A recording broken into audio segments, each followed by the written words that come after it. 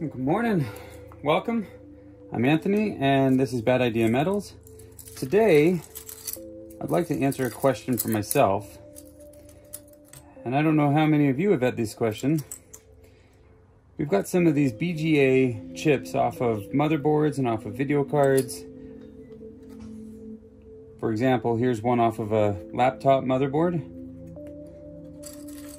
I wanna, I wanna know how useless these really are.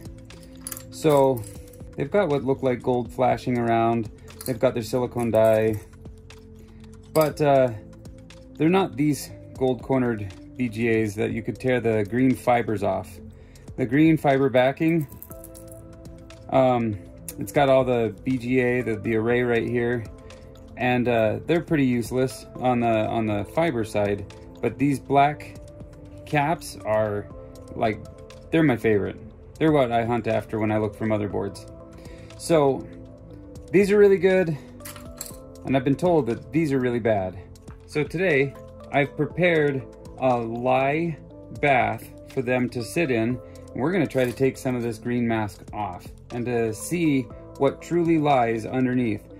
You can kind of see that there's a I don't know, it's almost like a relief. You can see the pattern of the traces underneath the solder mask. So I'm hoping that at least it's gonna be some gold plating or something, but we'll find out when we get there. Let's go ahead and get our lye bath going. Let's turn it up on medium and just let this get hot.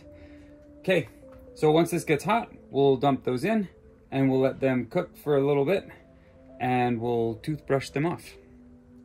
All right, so we got our protective gear on. Let's go ahead and start feeding our chips down in. Let's make sure we get a count so we know how many we have to fish back out. 26, 27, 28, 29, 30, 31. So we need a hunt for 31 when this process is done, and we'll get them back out.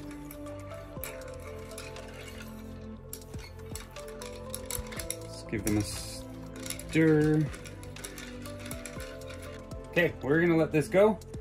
Um, I may turn up the heat in just a minute, but we'll uh, we'll let this go and uh, start a timer for about five to 10 minutes and we'll check our progress at that point. Um, it's now getting up to temp. I have seen some of the masks are starting to strip off. So let's pick one at random here. Here's one.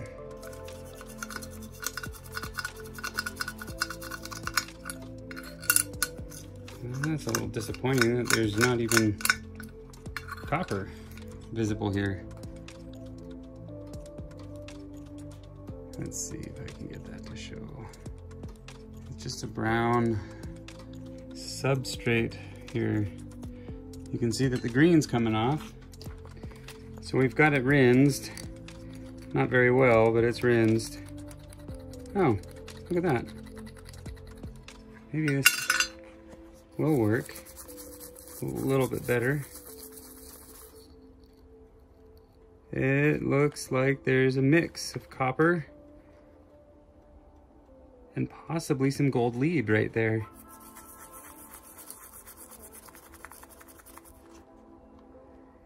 Well, the toothbrush is not strong enough. Let's see if some aggressive rubbing would get this to come off.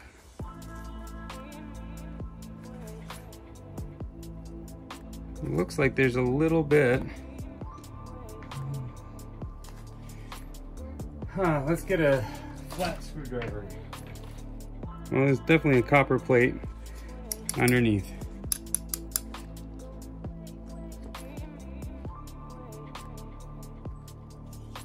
It doesn't look like there's anything in those trenches.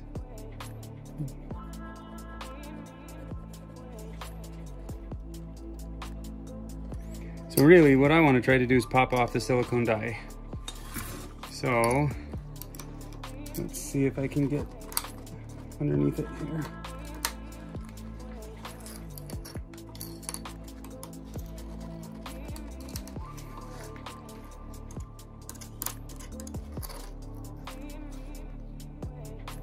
Yeah, that's a definite that's a definite copper. And that silicone die is on there pretty good. So let's uh see if we can do something else to get that off. Yep, that silicone die is on there pretty good, so let's try something else. To crack this thing open.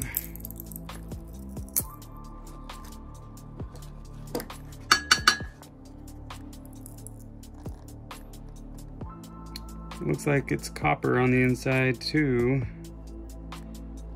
It's hard to tell without a microscope of some sort. It looks like there's copper little bonds in there. I can get it up enough. There we go.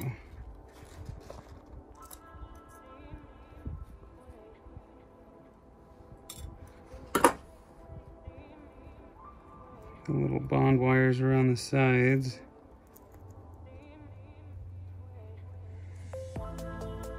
It's hard to tell, but it looks like this is entirely copper. I'm pretty confident now that these are absolutely worthless. They're all copper with some very minimal gold flashing. Like you can see there's a little dot in the corner here, right there on the tip. That is a gold dot but there's nothing else about it. That's gonna be gold. Just for some thoroughness, let's go ahead and fish the rest of these guys out. Okay, so I dumped the water off into a bucket and I rinsed these off pretty good. Let's take a look.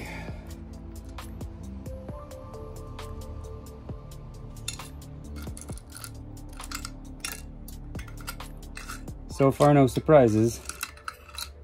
This is a little bit interesting. Let's take a look at this one. So far, no surprises, but this one does look a little interesting. So let's go ahead and clean it off. See what we end up with. We've got raised traces. Hmm. That one's pretty cool. You can kind of see there's uh, those leads are, are raised.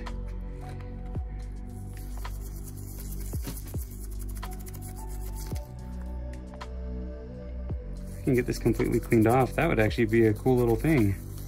Put on a, I don't know, like a keychain or something. Well, there you have it. Um, they're all just copper. Some look like they're uh, a little bit more interesting than others, but for the most part, all of these ones are copper. So I don't have anything interesting to try to recover from this, but I don't know, if you were to rinse them off, you can get some pretty interesting looking ones like this guy right here. The one that has all the raised edges. Not too surprising, but I just did prove to myself, and hopefully some of you, that these are actually pretty useless when it comes to precious metal refining. The amount of copper on here, I don't know, maybe it goes all the way through. I doubt it. It's not heavy enough to be a solid piece of copper. So it's probably just a copper plate on the front and probably on the back as well. So there you have it. Uh, thanks for watching and uh, Stay tuned for more videos like these. If you are entertained, please consider subscribing and give me a comment. Um, I'm always interested in trying different things. I make a lot of mistakes on this channel, and uh, I'm not afraid to show them. So, anyway, okay, I will uh, see you in the next video. Good night.